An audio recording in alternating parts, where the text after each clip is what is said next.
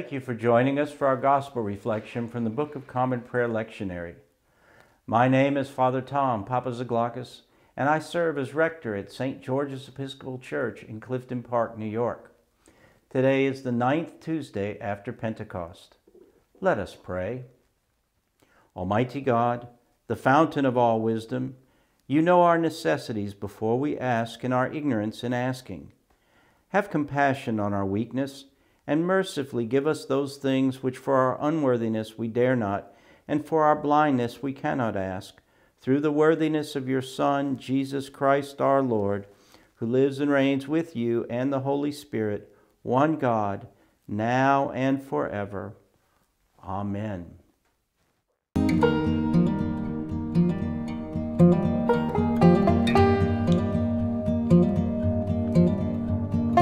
Our lesson comes from the Gospel of Mark, the fourth chapter, beginning at the 21st verse. Jesus said to them, Is a lamp brought in to be put under the bushel basket or under the bed and not on the lampstand? For there is nothing hidden except to be disclosed, nor is anything secret except to come to light. Let anyone with ears to hear listen. And he said to them, Pay attention to what you hear.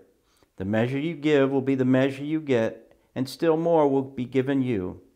For to those who have, more will be given, and from those who have nothing, even what they have will be taken away. He also said, The kingdom of God is as if someone would scatter seed on the ground, and would sleep and rise night and day, and the seed would sprout and grow. He does not know how. The earth produces of itself first the stalk, then the head, then the full grain in the head. But when the grain is ripe, at once he goes in with his sickle, because the harvest has come. He also said, With what can we compare the kingdom of God, or what parable will we use for it? It is like a mustard seed, which, when sown upon the ground, is the smallest of all the seeds on earth. Yet, when it is sown, it grows up and becomes the greatest of all shrubs, and puts forth large branches so that the birds of the air can make nest in its shade. With many such parables he spoke the word to them, as they were able to hear it. He did not speak to them except in parables, but he explained everything in private to his disciples. Here ends the lesson. Mark continues with the parables of Jesus as he's teaching about his kingdom and our need to respond to what he has to say. Christian disciples have a responsibility to make sure everyone has a chance to know about the ways of God in order that all can choose wisely.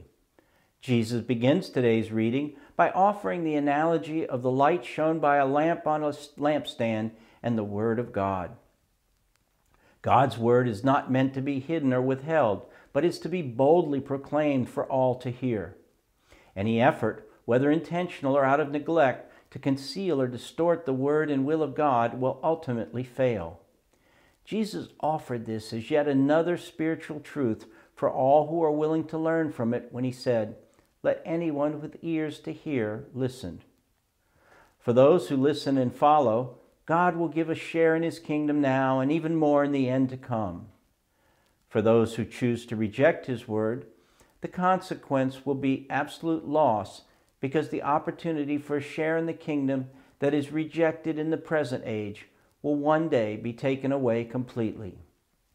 In these current times in which we find ourselves, accepting responsibility for our choices in this life is often circumvented by a misguided understanding about rights over responsibility when it comes to our response to God and the ways of God. Mark follows the parable of the lamp with a parable unique to this gospel that provides a comprehensive picture of the coming of God's kingdom. The parable describes the life cycle of sowing, growing, and harvesting, with a particular emphasis on the growing phase of a seed that has been planted in the soil. While the sower is present for all three phases, the seed that is planted germinates, sprouts, and grows outside of the understanding or control of the sower. What brings life is beyond the capacity of human intervention or initiation. God works in the life bearing seed which, when planted in good soil, grows stage by stage and produces grain.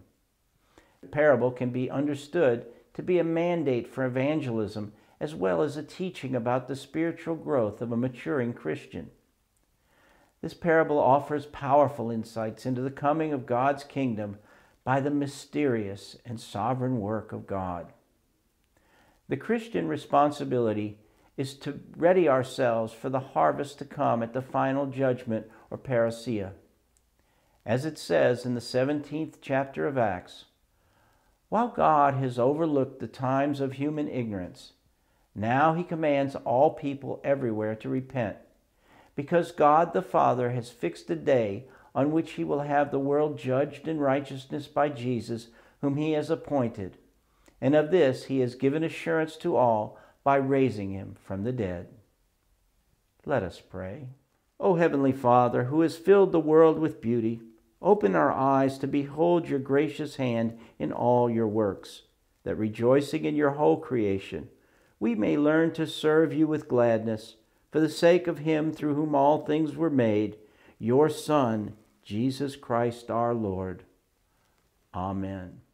Thank you for joining us. Join us every weekday for our gospel reflection. If you live in the Clifton Park area, join us for worship at 4:30 on Saturdays or 9 a.m. on Sunday mornings. If you're unable to join us in person, join us virtually through our YouTube channel. Our webpage provides recordings and details about all of our offerings.